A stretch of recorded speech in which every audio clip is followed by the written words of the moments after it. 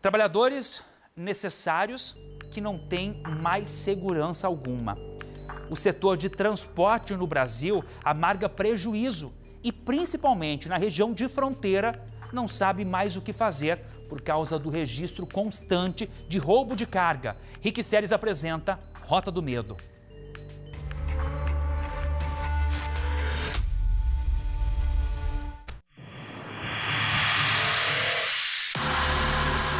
Trabalhadores necessários. E uma profissão arriscada. Insegurança estampada por todo lado. Muitas são as vozes e um pedido único. Falaram que era o um assalto, me botaram para dentro de um carro e levaram lá para uma casa, lá, né? Num lugar dentro da cidade aqui, que eu não sei dizer onde era. Este caminhoneiro foi contratado para pegar uma carga em Cascavel, no oeste do Paraná. Ele sequer imaginava, mas às margens da BR-369, os bandidos o esperavam. O trabalhador foi mantido refém durante cinco horas. Paraná fora, o problema se repete. Em um ano, foram três casos registrados somente nesta região. Os caminhoneiros eram levados a locais como este, que não são escolhidos à toa. São bairros novos, isolados, mas com acesso fácil às rodovias. Tudo para facilitar a ideia principal do crime: o, o furto, furto, de, de cargas. cargas. Este outro caminhoneiro também foi mantido refém. Na carroceria, uma carga de milho. O caminhão até foi localizado, mas a carga não. Aí vieram um cada porta e vai para trás, vai para trás do banco e botaram um capuz na cabeça e daí para frente não vi mais nada. Né? As estradas cortam o Brasil. No país, o transporte rodoviário se faz necessário. No trajeto, muitos desafios. E à medida que o trecho segue, esse tipo de crime se espalha. Em Londrina, no norte do estado, uma perseguição policial chegou até a zona rural da cidade. Essas imagens foram feitas durante as buscas pelos bandidos, que roubaram uma carga de cigarros. O motorista ficou na mira de um revólver por duas horas. Tempo suficiente para colocar nesta van o carregamento, que neste caso era ilegal. Esse sítio seria utilizado como esconderijo e foi pela mata que os bandidos conseguiram fugir. O aumento de furto de carga acompanha o crescimento no valor dos produtos transportados. Segundo o levantamento do Instituto Carga Segura, as cinco cidades que mais tiveram esse tipo de roubo no Paraná são Campina Grande do Sul, Curitiba, Paranaguá, Ponta Grossa e São José dos Pinhais cidades que ficam próximas ao porto. Aqui no Paraná há uma preocupação gigantesca, inclusive uma atuação também da Polícia Civil de repressão às quadrilhas que roubam soja, roubam milho. Né? Então mudou um pouco o interesse das quadrilhas até para esses produtos que passam aqui nas nossas estradas do Paraná.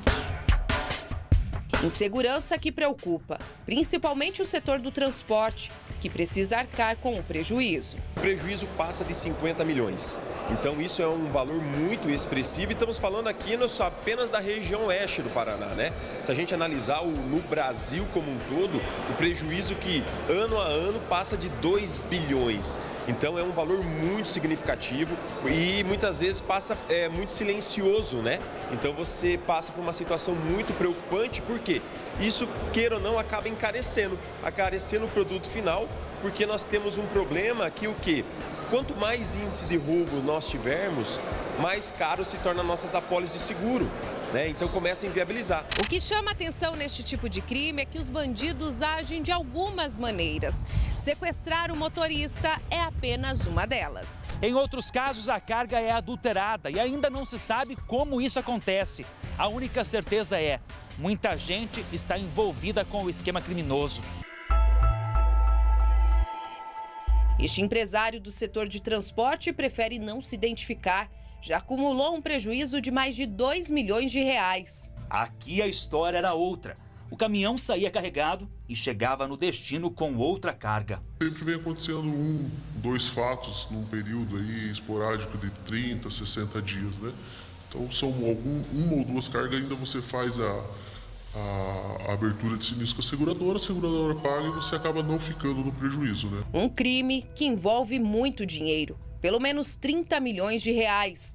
Esse é o valor que uma quadrilha já roubou em cargas de empresas no Brasil. Depois de uma prisão em Mandaguari, região de Maringá, uma grande operação foi feita no Paraná, Santa Catarina, Goiás, Mato Grosso, Minas Gerais e no Distrito Federal.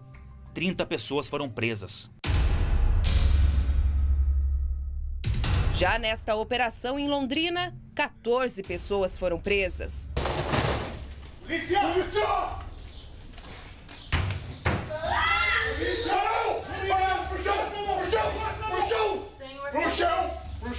Tudo acompanhado de perto pelo helicóptero da polícia. O líder da quadrilha especializada em assaltos a transportadoras ficava na capital Curitiba. Ele também foi preso.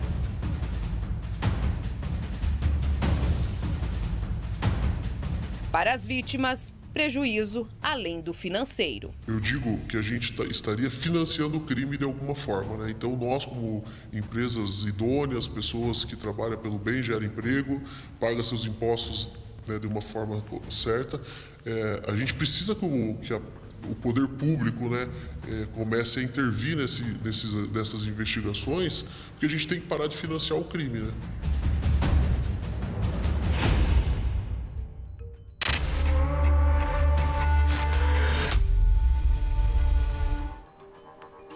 E amanhã, no terceiro e último episódio da série Rota do Medo, você vai ouvir falar sobre piratas do asfalto, que assaltam compristas, mas que amedrontam todo o Paraná e também causam pânico nas rodovias Brasil afora. A gente volta a falar do caso da idosa que estava